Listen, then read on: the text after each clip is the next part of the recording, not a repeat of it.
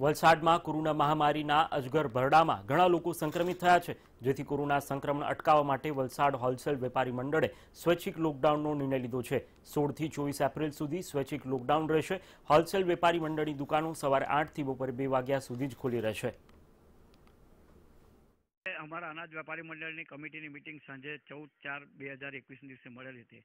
અમારી કારોબાર કમિટીએ જે નિર્ણય લેવામાં આવ્યો કે આ કોરોના મહામારીને લીધે અત્યારે ઘણું સંક્રમણ થાય છે, તો તારીખ સોળ ચાર બે હજાર એકવીસથી ચોવીસ ચાર બે હજાર એકવીસ સુધી અનાજ બજાર સવારે આઠથી બપોરે બે વાગ્યા સુધી જ કામ કરશે. અને બે વાગ્યા પછી સદંતર બધું વેચાણ બંધ કરી દેવામાં આવશે.